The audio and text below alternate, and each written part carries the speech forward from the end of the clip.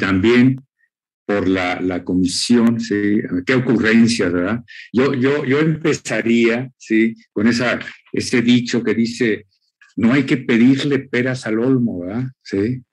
Pero, eh, eh, pues para este proyecto, ¿sí? Desde la, la Orquesta Imposible, hay que atreverse a pedirle las peras al olmo, ¿sí? Y de eso trata esta sinfonía, ¿sí? La sinfonía imposible o las peras del olmo, ¿no? Un poco recordando el libro de, Octavio Pase.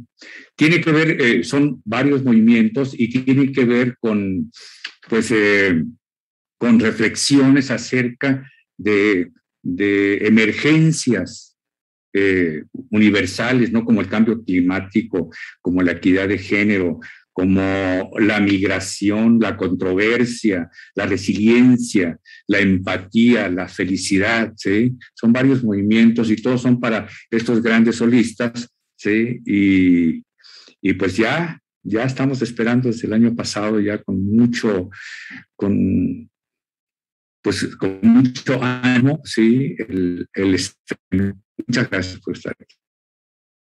Muchas gracias, maestro. Eh, como bien lo dice el maestro Márquez, esta obra eh, va a destacar a los solistas de Orquesta Imposible y como él los conoce muy bien, eh, fue haciendo cada uno de estos movimientos, destacando el trabajo solista de estos imposibles y